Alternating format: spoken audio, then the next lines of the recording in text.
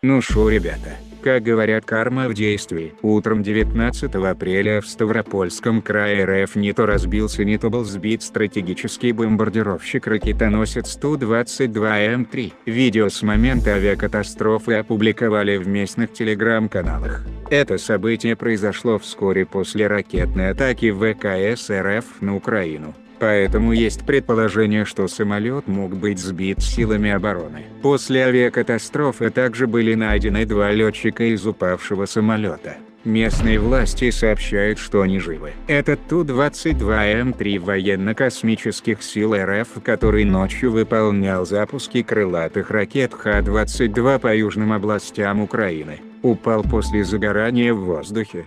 Повторимся есть версия что его могли сбить украинские военные. Само же ведро с болтами и гайками Ту-22М3 находится на вооружении РФ а ранее СССР с 1974 года. Первый свой полет он совершил 20 июня 1977 года и был запущен в серийное производство с 1978 по 1993 год. Основное вооружение самолета включает в себя очень косую противокорабельную гиперзвуковую крылатую ракету Х-22Н с легкой фугасно-кумулятивной боеголовкой способной пробить корпус корабля на площади 22 квадратных метра и глубиной до 12 метров а также ракету Х-22ПС с мегатонной боеголовкой, которая имеет дальность пуска около 500 км.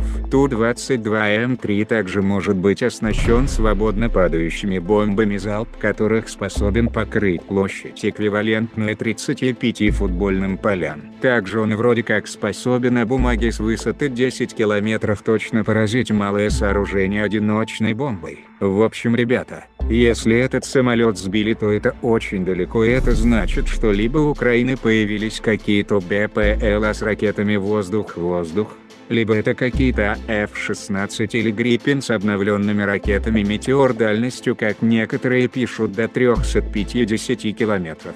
Хотя это вроде как и мало но самолет мог был сбит и ближе к Украине а упал в Ставропольском крае. Так что как говорил классик, это загадка. Поэтому друзья, для тех кто не подписан на канал подписываемся жмем колокольчик чтобы не пропускать наши новые видео и ставим лайк. Ну и помогаем каналу либо на патреоне либо спонсорством либо на кофе будет вам как мы любим иногда говорить зачетище плюсик в карму.